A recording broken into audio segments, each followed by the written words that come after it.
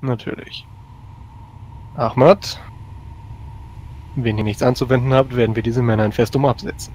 Und wenn wir das nächste Mal in Kuntium sind, ein ernsthaftes Gespräch mit unserem Verwalter haben. Und ihr meint, man kann diesen Leuten trauen? Ich meine, auch ich habe gehört, dass sich euer Verwalter Drachentöter nennt. Und wir können seine äh, seine Ehren Eldaransier befragen lassen. Er wird die Wahrheit schon aus ihnen herausbekommen. Wenn dies euer Gewissen beruhigt. Das würde mein Gewissen in der Tat beruhigen. Gut. Darum können wir uns aber bekümmern, wenn oben nicht mehr alle Mann auf Gefechtsstationen sind. Wenn ihr bitte die Arche steuern möchte. Natürlich. Ja, mit den Worten, äh, ich schaue noch mal kurz zu den beiden blinden Passagieren, schüttel nur den Kopf und marschiere dann auch nach oben. Ach, wartet, Ömer. Ja? Dir wird ein kleiner Geldbeutel in die Hand gedrückt. Ehrlichkeit soll belohnt sein. Okay, Da sind fünf Dukaten drin. machen den auf. Äh, äh, äh, okay, immer steckt das ein. Äh, ich verwalte das so lange für euch, bis ihr es braucht. Kein Ding. Ahmad geht nach oben und ich weiß nicht genau, was äh, Janas Plan ist. Ich nehme einfach an, nah ranzufahren und die Leute ab, äh, aufzunehmen. Ja. Männer bereit machen zum Entern, genau wie wir es geübt haben. Niemand springt ins Wasser. Ja, also äh, ihr könnt dann das Ganze nach den geplanten ähm, fähigen Händen von, von Kiaras durchführen lassen. Äh, als kleine Talucke ist es einfach ein Witz, die haben überhaupt nichts euch gegenzusetzen. Warte, warte, warte, wir entern die nicht. Ihr könnt die Fischer dann entweder an Bord nehmen oder auf ein Ruderboot oder sowas absetzen, damit sie dann ins Festland kommen und dann könnt ihr den, den Rest der Talucke könnt ihr dann fressen, wenn ihr wollt. Das ist Ja. relativ unspektakulär. Und ähm, der, die beiden äh, Agenten, Spione können zu den beiden Magiern gebracht werden. Werden sie dann auch. Euer Ehren, euer Wohlgeboren. Können wir etwas für euch tun? Nun, da ihr neuerdings Akolut unseres Herrn Paios seid, hatte ich gehofft, ihr könntet mir bei einer Sache der Wahrheitsfindung zur Hand gehen. Immer. Wie kann ich euch helfen? Nun, diese beiden Männer hier sind offenbar blinde Passagiere unter Deck gewesen, haben eine hm, Geschichte zu erzählen, wie sie da wohl hingekommen sind. Wenn ihr möchtet. Mit dem Handwink zu den beiden Passagieren, sie sollen nochmal erzählen. Ja, sie geben das gleiche zu Protokoll. Sie wurden in Kuntium ähm, in einer Taverne von äh, einem Mann namens Drachentöter angeworben, der wohl behauptet, dass sie eine sichere Passage von Kuntium nach Festum bekommen und von dort aus sollen sie in Richtung Süden vordringen.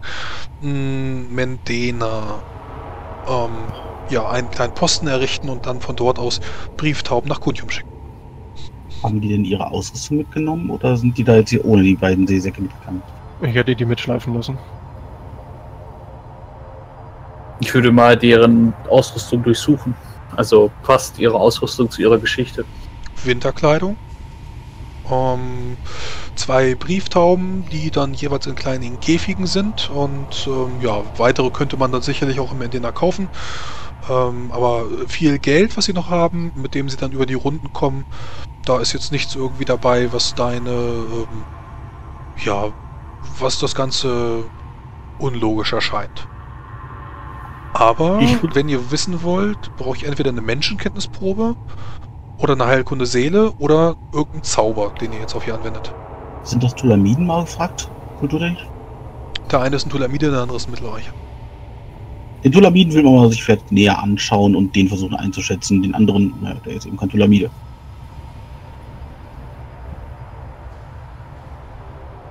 Ich würde mich auf den Mittelreicher konzentrieren. Ich auch. Ich kümmere mich auch um die Tulamiden. Aber immer kennt sich da wohl besser aus.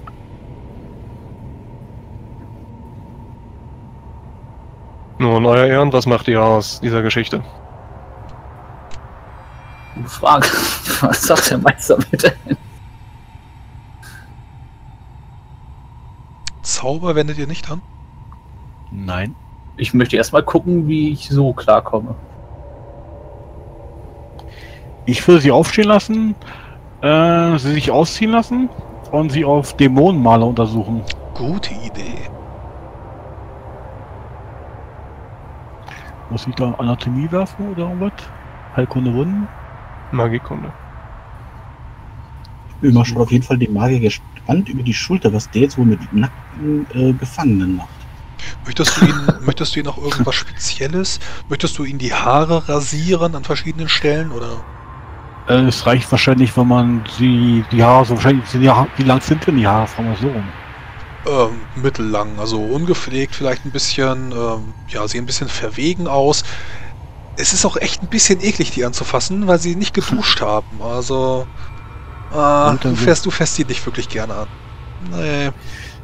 Dann würde ich dieses Ömer überlassen, äh, ihn äh, die Haare so beiseite ziehen, dass man auf die Haarwurzel auf den Schädel gucken kann. Das man stellt sich möglichst blöd an. Soll ich so? Und dann macht er es genau in die falsche Richtung.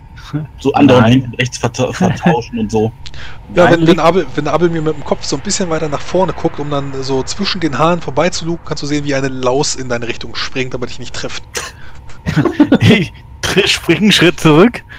Äh, sie sollten ihnen die Haare scheren. Warum sollten wir ihnen die Haare scheren? Sie übertragen Krankheiten. Das tun alle anderen Leute auch, die sich lange nicht gewaschen haben und Haare haben. Das ist kein Grund. Äh, es ist widerlich. Auch nee, es ist kein Grund. Habt ihr uns erlebt, nachdem wir ins Unwasser gesprungen sind vor Kunchom? Nein, habt ihr nicht. Da wart ihr nicht Das bei. ist wirklich Verzeiht. nicht angenehm. Im Hintergrund gibt es Kampfgeräusche. Kampf? Warum wird denn da... Nein, ich frag nicht. Nein, nein, nein. Ich vertraue Carino. Ömer, könnt ihr ihnen die Haare scheren? Ja, Es reicht raspel kurz. Ich habe nur kein Schermesser. Dann nimmt eine Schere. Ich Aber mir? keine Schere. Hier wird niemandem die Haare geschoren. Es ist notwendig und wichtig, um sie auf Dämonenmale zu prüfen. Euer Ehreneltern, wie seht ihr das? Ihr seid schließlich die Kompetenz auf dem Gebiet. Oh, das wird eine saftige Nachricht an diesen Drachentöter. Er hat gesagt, ich, ich wusste das alles. Oder er, er, ihr wusstet das alles. Ich würde jetzt äh, dem Mittelländer in die Augen blicken und dann einen Respodami Wahrheitszwang wirken. Ja, dann gucke ich mal, ob der durchgeht. Lass dir Zeit! Hat Noob! was. Lass dir Zeit! Idiot! Der hat mehr als Magierresistenz 2! Ja, ich habe eine Zauberwaffe aufsetzt. Ja, hättest du die Zeit gelassen, hättest du 6 Punkte über. Ja, habe ich nicht. Aber Alter. Mach's doch mal! Chippy, gib ihm. Ja, dann Oh Mann. hast du dir Hat er Zeit gelassen, nachdem du gechippied hast. Ja, was soll der Geiz? Den kann er doch nicht. Kann er nicht. Er kann doch Ja, nicht oben im Nachhinein Hat er mehr als Magieresistenz 5, dann kann, kann er dem Wie, wie widerstehen. viel ASP kostet der denn? 3. Okay. Warum chippst du dir einen Zauber, der dich 3 ASP kostet? Kein Geiz, kein Geiz. Oh Mann. Alles klar, dann verlierst du jetzt 2 ASP. Und du merkst, dass du gegen die geistige Magieresistenz der beiden stößt. Da ist auf alle Fälle, du könntest, die, du könntest sie knacken, wenn du dir Zeit lässt, könntest du sie knacken. Aber aktuell ist das so nix. Nee. Ich bräuchte etwas mehr Zeit, um das genauer zu analysieren. Ich bin mir nicht sicher, ob sie die Wahrheit sagen. Nun, dann nehmt euch die Zeit. Wir haben keine besondere Eile. Offensichtlich, wie ich das von draußen höre, wird das Schiff gerade noch in Beschlag genommen. Ich würde mich jetzt einfach erstmal nur noch mit ihren, ähm, also mit den Sachen beschäftigen, die sie dabei haben. Aber ob die irgendeinen Eindruck auf mich machen, ob die vielleicht sogar magisch sind, was auch immer. Wie ist denn die Zauberdauer oder die, die, die Wirkdauer? Nee, gar nicht. Die Zauberdauer vom Respondami. Wie lange dauert der? Drei Aktionen oder so. Reaktion. Okay, das heißt, es dauert jetzt sechs Aktionen. Das sind wie viele Sekunden? Du kannst das direkt danach nochmal wirken, weil er nicht fehlgeschlagen ist, sondern einfach nur. Naja, also. äh, Nee, das war jetzt hier. Ach so, doch, klar. Du musst jetzt kann keine, ja du musst ja- kein, du musst keine fünf Minuten warten. Ne? Das, das meine ich. Ach so, ich dachte, ich müsste fünf Minuten warten. Nö. Lass dir jetzt einfach Zeit, Mann! Ja, das ist jetzt auch mein Plan. Ich lasse mir einfach Zeit dabei. Gut. Oh Mann! Oh jo. Wieder fünf Punkte über. Ey, Der- Ja, der Mann scheint Du gut zu sein, du verlierst weitere zwei ASP. Wir sollten Ich- nicht ich- Der. Magier wieder leer und hat nichts erreicht. ich schlag gleich jemanden. Ich schau, ich schau möchte, Abel mir an, möchte der Abel, ich wollte gerade sagen, möchte Abel mir irgendwas Sinnvolles tun? Er hat für sein Geld bisher noch nichts getan. Ich, ich würde weiter, also der Körper selber hat keine Dämonenmale. Der Körper weist zumindest keine offensichtlichen auf. Du weißt, dass so, Ähm. sowas könnte auch im Inneren verborgen sein, also die Zunge oder die Zähne, Augen. Okay. Aber so nein, tief- also wenn, wenn so du, wenn du nochmal schaust, nein, es gibt keine Dämonenmale. Gut. Und Eltern, spricht er die Wahrheit? Es scheint so, oder? Ich bin mir nicht echt sicher. Moment. Also ich habe ich hab, ich hab sogar, ich habe Eltern und ich habe Ömer eine private Nachricht geschrieben. Ja, ich weiß, aber mein, mein Charakter ist sich nicht sicher, weil er nicht durch seine Magieresistenz kommt. Die Also- ist gut. Der Gut, Mann gut, scheint Agent. ähm, Training erhalten zu haben dagegen. Und Dann- seine Sachen haben, machen aber nicht den Eindruck, hey, ich bin magisch oder ich könnte versteckt magisches Artefakt sein. Gut, wir sollten ihn trotzdem zur Sicherheit wegsperren erstmal. Selbstverständlich. Die Frage ist, ob wir sie in Festum freilassen sollen, damit sie ihrem Auftrag nachgehen können. Denn wir könnten Spione in Mendena gebrauchen.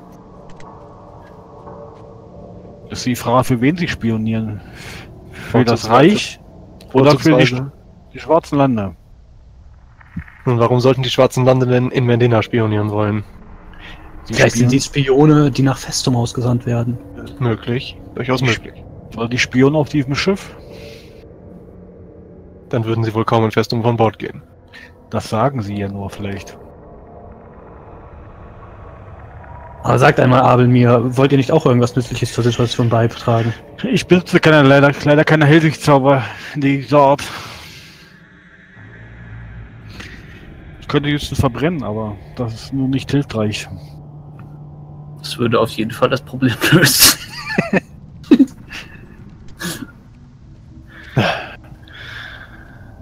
Ich wende Ich mich werde irgendwie mich- an. Ich werde mich nochmal intensiv mit Ihnen befassen. Ich würde jetzt einfach eine, eine Befragung nochmal weitermachen. Ich möchte jetzt mit dem Mittelländer auf seine Kindheit eingehen und mir im Grunde halt Sachen merken und ihm dann später darauf nochmal antworten lassen. Ich würde Analyse wirken. Lasst mir Zeit dafür, um zu gucken, ob auf ihn eine Bezauberung liegt, äh, die ihr ihren Widerstand erklären würde. Ich lasse mir Zeit dabei. Erst den Analyse. Erst den Analyse, genau. Okay. Obwohl, ein Odem bringt vorher was. Ne, könnte die Hälfte vom Odem krieg als Ersparnis sozusagen ansetzen. Genau. Dann würde ich erstmal einen Odem wirken. Also wenn du- Lassen, Information, Ja. wenn du einen Analyse wirkst, immer vorher den Odem. Immer. dann würde ich mir Zeit lassen, wie gesagt. Und erstmal Odem wirken.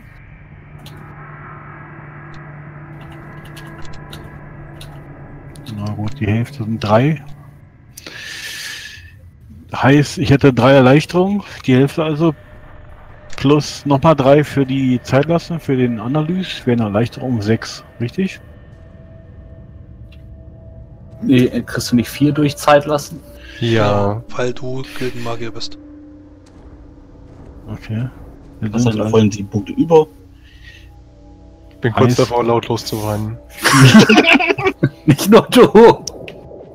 Also hätte ich, äh, Das ist eine Vierer-Erleichterung, ne? Ach so, hast du. Wird Ja. Zeit, dass du eine Preiauswahl kriegst, Elder. Ey, aber echt, der kannst immer noch genauso viel wie jetzt. dann würde ich halt, kann nicht so viel. Kannst du den Respodami in der Kammer, mit Kammer sprechen. Und würde dann den Analyse wirken. Oh, Jungs. Bitte. Es liegt kein Zauber auf ihn, sie haben keine Artefakte bei sich. Mist. Gut, es liegt kein Zauber auf ihnen, so wie es aussieht. Also sind sie entweder mental sehr gut geschult. Auf wen von Oder- beiden oder auf beiden gleichzeitig? Äh, der Odin wird, glaube ich, auf sich. Ein. Nee, auf ein. Du Ja, hast äh, jetzt nicht gleich ansagen. Mir wird das Ja, zu viel. Ogdan, nimm den drei Männer, bring die beiden zu einer Kabine. Sie stehen unter Arrest. Eldan, bis wir in Festung sind, erwarte ich Antworten. Äh, Damit rausche ja, ich aus dem Raum. Kapitän, Karinor, bitte gebt mir gute Nachrichten. Bitte, bitte, bitte. natürlich. Wer sind diese beiden Leute? Fragt nicht. Soll ich die Planke vorbereiten? Nein. Hm, Schade. Nun, das Schiff wurde erfolgreich erobert. Wir haben drei Rinder erobert. Wir haben zwei Fischerboote erobert. Alles sehr gut für Helmpot zu gebrauchen, denke ich. Wir haben 15 Gefangene und nun eine Talocke, die nun gefressen wird. Für OT 6 Handlungspunkte. Nice. Nun, an so, einem kleinen, an so einer kleinen Taluke ist natürlich nicht viel dran. Wir werden auf dem Weg noch eins auftreiben müssen. Ich war doch überrascht, dass äh, die Rindviecher dabei hatten.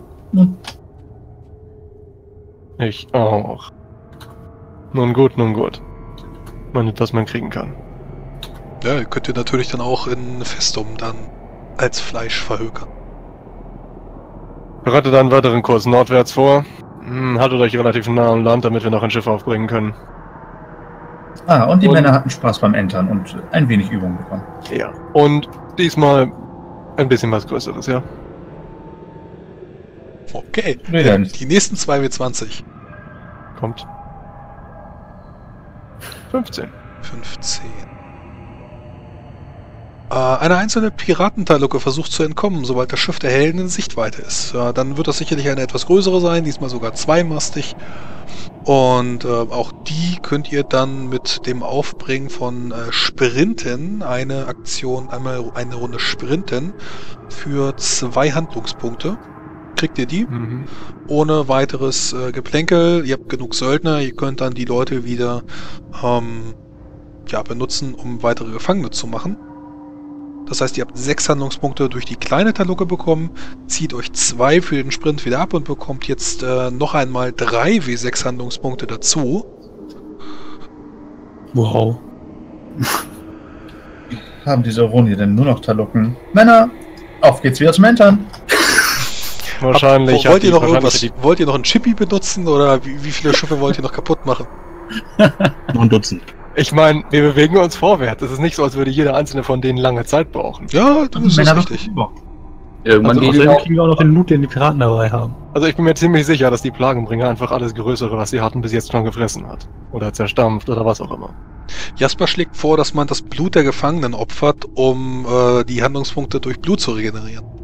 Jasper ist so kurz davor, eine Schelle zu kriegen, Aber Erst schön, so kurz aber davor, schön auf den letzten Kante zu Zug. gehen. Schlägt er das in meinem Beisein vor?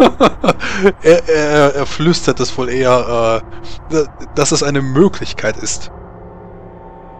Also ich, ich möchte ihm dann zuflüstern, dass ich ihn über Bord werfe, wenn er sowas nochmal sagt.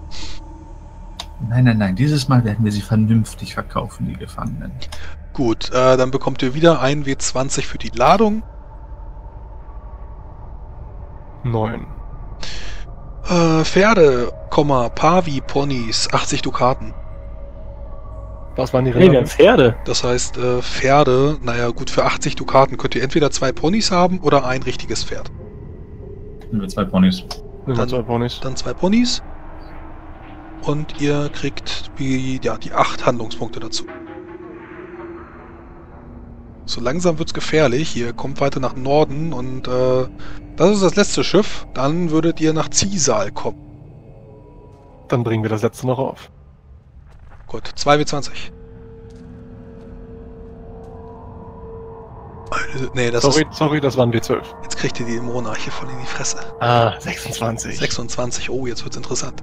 Kann man schon Ah, W3 plus 1 Piratenschiffe unter gekreuzten Knochen, blutroter Charybdorot, Rune, Schädel und Säbel. Sie sind dem Portifex Maximus in Mendena tributpflichtig und auf dem Weg. Das sind vier. Küstenaufzug. Das ist ein W4, genau, das ist der falsche. Ich brauche ein Oh. W3, also ein Ich hab W6 keine halbe. W3. Ja. Das sind immer noch vier. Dann sind das jetzt vier Piratenschiffe. Und äh, damit gehen wir in eine kleine Pause, damit ich diesen Kampf vorbereiten kann. Alles klar. Mm, Während ihr auf der Suche nach weiteren Piratenschiffen seid, könnt ihr erkennen, wie direkt vor euch einige Segel auftauchen. Noch 30 Meilen entfernt. Das ist die Entfernung, mit der ihr dann ja, ähm, Schiffe ausmachen könnt. Zusammen mit dem Fernrohr kann dann Kiaras erkennen, dass es sich dabei um vier xeranische mh, Talucken handelt, die Kurs auf euch halten. Allesamt mit der, Segel am Horizont! allesamt mit der blutroten Charybdorot-Rune. Wunderbar, Karinor. Habt ihr endlich was gefunden, das sich aufzubringen lohnt? Männer! Bereit machen, auf Gerechtsstation. Das wird eine harte Nummer. Ei, ei, Kapitän! Auf Gefechtsposition! Kampfrollen einnehmen! Bronn, mach schon mal die Geschütze, die Geschütze klar. Ich will, dass wir den Erstbesten direkt aus dem Wasser pusten. Ich vermute, wir nehmen die Rotzen, ja, Kapitän. Ei. Ahmad, hm, schau mal zu, wir nicht auf einen davon direkt zuhalten und mit den, mit den Beinen außer Gefecht setzen können. Ahmad guckt sich die Schiffe am Horizont an. Und nickt dann irgendwann. Es könnte sich lohnen, zumindest zwei von den Schiffen intakt einzunehmen. Erst einmal müssen wir sie überhaupt alle außer Gefecht setzen. Wenn wir auf die Ruder zählen oder auf die Ruderanlage? Es sind Talucken, die werden nicht gerudert, die segeln. Oh. Aber sie müssen auch gesteuert werden, oder? Bei dem, was die auf den Segeln haben, bin ich mir nicht sicher. Vielleicht werden sie vom Unwasser selbst einfach in die richtige Richtung getragen. Aber sie haben doch wie ein normales Schiff ein, ein Ruderrad, oder? Ja, haben sie. Außerdem, die Männer haben jetzt einiges an Übungen in Entermanövern bekommen. Ich denke, es wird ihnen gut tun. Ja, der Kapitän, äh, ich äh, kann durch das Fernrohr erkennen, dass es sich dabei wohl um, äh, wenn ich das hier erkenne, äh, jedes Schiff besitzt wohl eine, äh, eine Rotze links und eine rechts. Äh, zumindest sind sie nicht auf, äh, äh, nun ja. Äh, sie haben sie nicht auf der einen Seite, linksseitig, rechtsseitig. Es ist egal, an welcher Seite wir vorbeifahren. Äh. Äh, sie werden uns immer treffen können, oder? Wenn Sie sie auch ausrichten, Sie haben noch etwas Zeit, dann könnten Sie eventuell auch noch umdisponieren, aber es sind zumindest zwei mittlere. Das könnte vielleicht nicht unbedingt die, den Rumpf beschädigen, da, da wir, er klopft so ein bisschen auf das Unholz neben sich, genug Rumpf haben, aber nun ja, wenn ein solcher Stein die Mannschaft trifft, dann nun ja, dann wird uns das sicherlich mehrere Mann kosten. Lass das Schiff hochsteigen auf die Beine. Wir können einfach über sie hinübertrampeln. Dann können sie die Mannschaft nicht treffen, nur den Rumpf. Äh, wollen wir nun äh, alle vier Schiffe vernichten oder nur eines oder äh, suchen, suchen wir den Kampf, umgehen wir sie? Wie ist der, wie ist der Plan? Ich, äh, Wir wollen auf jeden Fall alle vier außer Gefecht setzen. Wenn wir alle vier fressen können, ist das umso besser. Oder wie Carino vorschlägt, welche behalten. Aber zunächst einmal sollten wir uns, das, sollten wir uns um das Wohl des Schiffes und unserer Mannschaft kümmern und keine Risiken eingehen. Ich würde eins zerstören mit unseren Geschützen, eines sofort fressen und zwei entern. Das erscheint mir ein guter Plan. Es wird vermutlich, wenn wir es hinreichend behaken, nicht sofort sinken. Aber das überlassen wir Braun.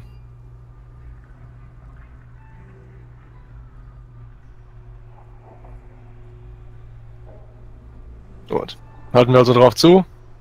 Zerschießen eins, fressen eins sofort und die anderen beiden gehen wir im Nahkampf an. Ich Wir sollten den. Kurs so begehen, dass wir von vorne kommen, dass sie keine Breitseite uns bekommen. Hm, Das wird sie zum Wenden zwingen, dann können wir sie von hinten entern. Ich schau noch mal kurz durchs Fernrohr. Haben die ein oder zwei Masten jeweils?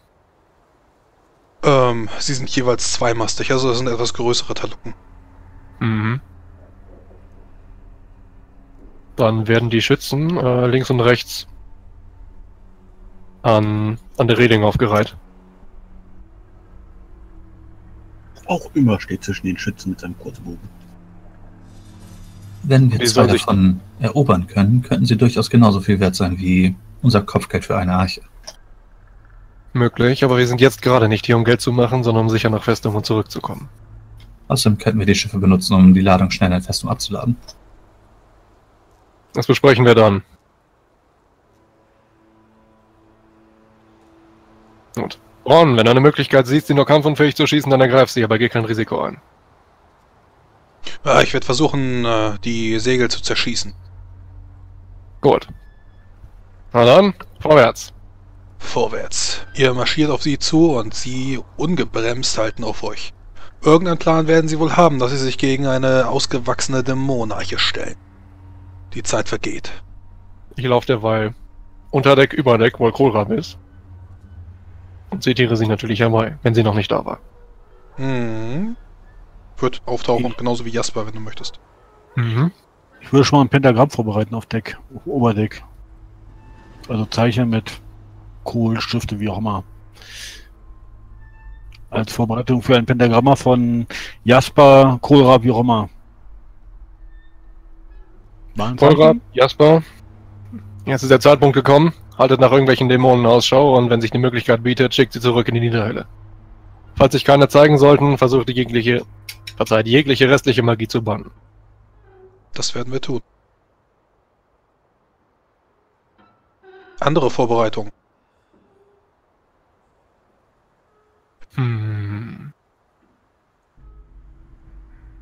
Dann Wähle stehen, die Männer sind bewaffnet. Gut. Ich denke, das war's. Vier Schiffe, die auf euch zuhalten. Efforts blutiges Herz, der Blutrochen, die Hammerhai und der Stern von Tisal. Ja, ähm, die Position habe ich äh, markiert und ansonsten müsstet ihr euch jetzt aussuchen, äh, wie ihr auf die Schiffe zufahren wollt. Ob ihr eins in die Mitte nehmen wollt oder links oder rechtzeitig angreift. Ich würde sagen, wir greifen linksseitig an, also dass wir das etwas blutige Heer direkt mit dem Maul angreifen. Und lassen, bevor wir da sind, von Braun die Stern von, Stern von Tisal zerschießen. Die erscheint mir am weitesten an der Seite zu sein.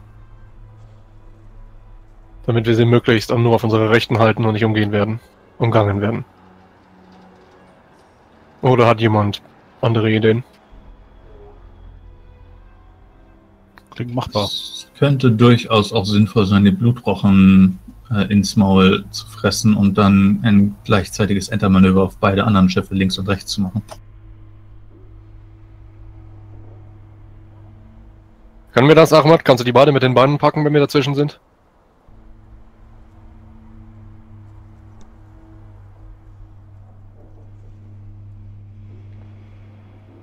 Entschuldigung, war gemutet. Wird schwierig, aber machbar. Gut, ausführen. Die Blutrochen wird gefressen.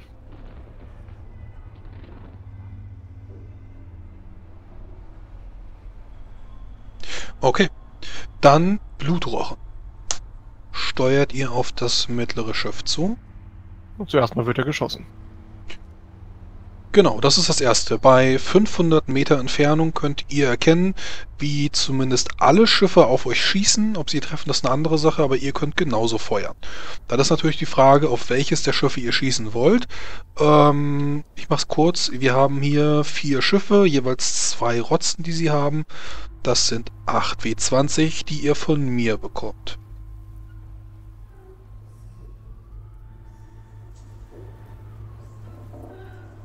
Das ist gar nicht so gut. Eins, zwei, drei, vier.